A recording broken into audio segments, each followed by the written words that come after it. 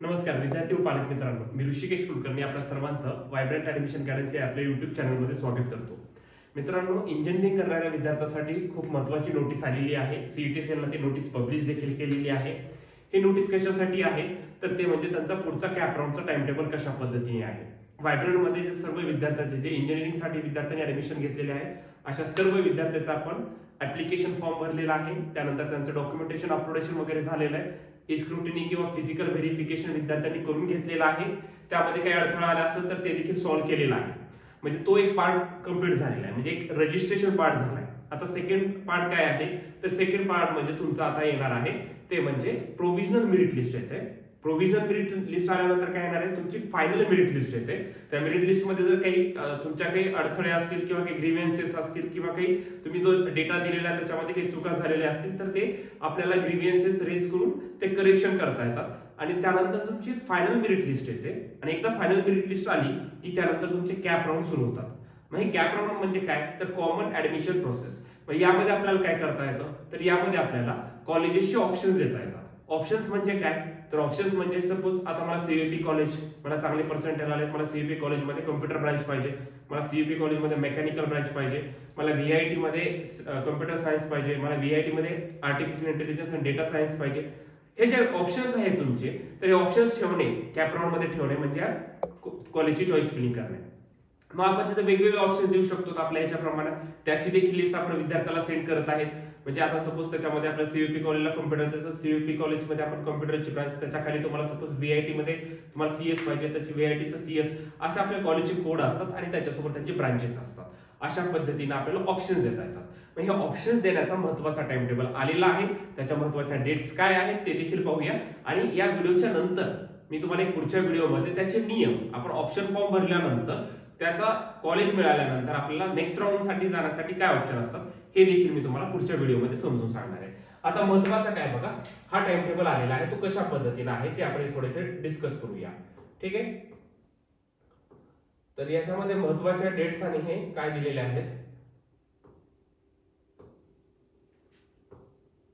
जर हे रजिस्ट्रेशनचा time table काय होता तर चोवीस तारखेला सुरू झालेलं होतं तर ते एक्सटेंड करत करत दहा तारखेपर्यंत हे रजिस्ट्रेशन वगैरे झालेलं आहे. अकरा तारखेपर्यंत चोवीस तारखेपासून अकरा तारखेपर्यंत त्यांचं डॉक्युमेंट व्हेरिफिकेशन हे प्रोसेस होते ज्यांनी ई स्क्रुटिनी दिले किंवा फिजिकल व्हेरिफिकेशन केलं त्याने सर्व पाहिलेलं असेल. त्याच्यामध्ये सर्वांचं हे करेक्शन देखील झालेले आहे.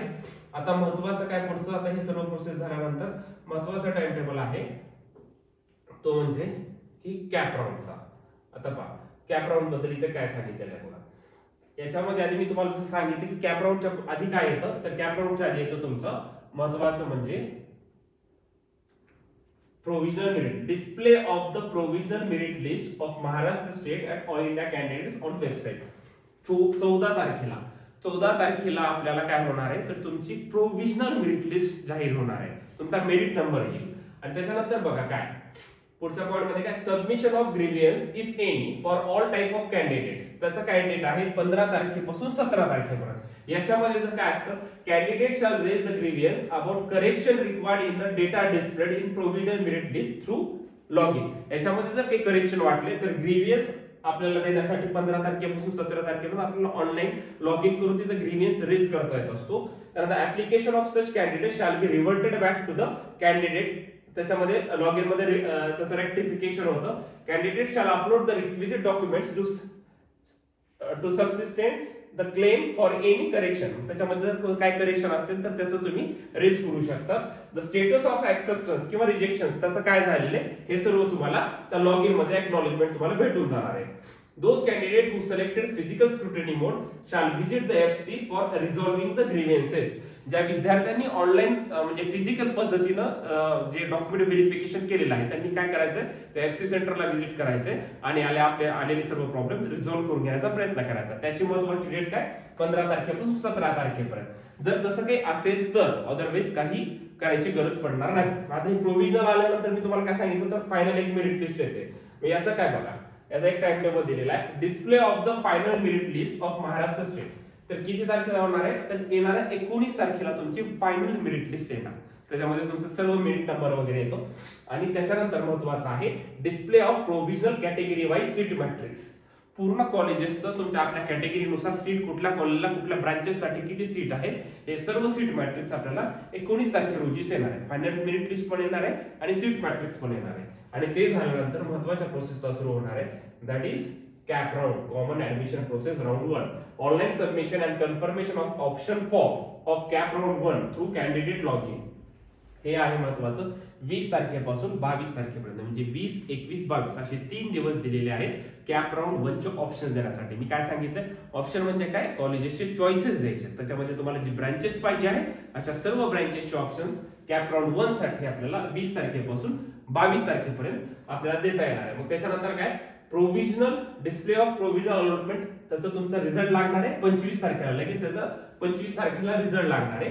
त्याच्यानंतर सीट ऍक्सेप्ट करायची आहे ऍडमिशन घ्यायचंय किंवा सीट ऍक्सेप्ट करून पुढच्या राऊंडला जायचंय फ्रीज फ्लोट ह्या सर्व गोष्टी तुम्हाला मी नंतर सांगणार आहे. आता त्याच्याबद्दल कन्फ्युजन करून घेऊ नका. त्याच्यासाठी सव्वीस तारखेपासून अठ्ठावीस तारखेपर्यंत वेळ आहे.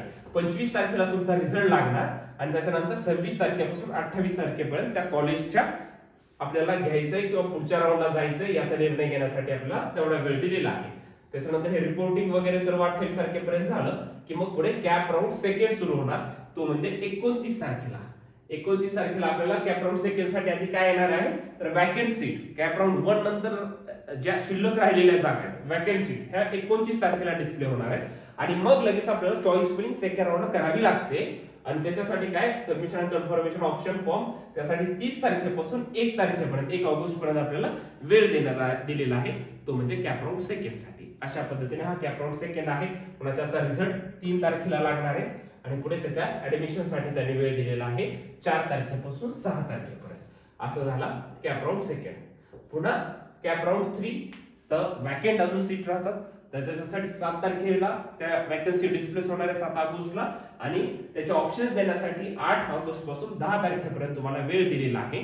त्या अशा पद्धतीने तुम्हाला हे पाहून पुन्हा पुढे त्याचा कॉलेजला ऍडमिशन घेण्यासाठी वेळ दिलेला आहे. अशा पद्धतीने हे टाइम टेबल आहे मित्रांनो. म्हणजे CAP round one CAP round two CAP round three admission घेऊन कसं पुढे आहे फ्रीज म्हणजे काय असतं? फ्लोट म्हणजे काय असतं?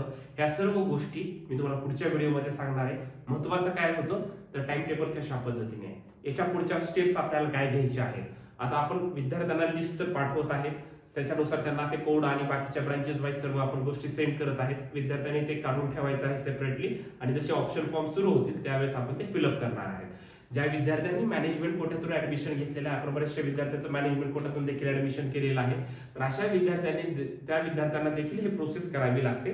म्हणजे ऑलरेडी रजिस्ट्रेशन डॉक्युमेंट व्हेरिफिकेशन केलेलं आहे. इथून पुढे फक्त तुम्ही एक्स वाय झेड तुम्हाला जे कॉलेज तुम्ही ऍडमिशन घेतलं त्याची एखादी चॉईस फिलिंग करून ठेवली.